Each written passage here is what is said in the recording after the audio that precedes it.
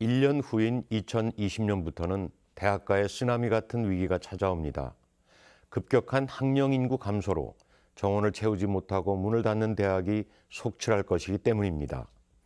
현 고3 학생 수는 작년 대비 6만 명 적습니다. 현저히 떨어지고 있는 대학 진학률까지 감안하면 내년에는 대입 지원자가 최대 10만 명 줄어듭니다. 단순 계산으로도 한 학년 정원 1000명인 대학 100개가 한꺼번에 문을 닫아야 하는 어마어마한 위기입니다. 게다가 이 위기는 수도권에서 먼 지역부터 찾아옵니다. 대학이 죽으면 지역사회가 죽습니다.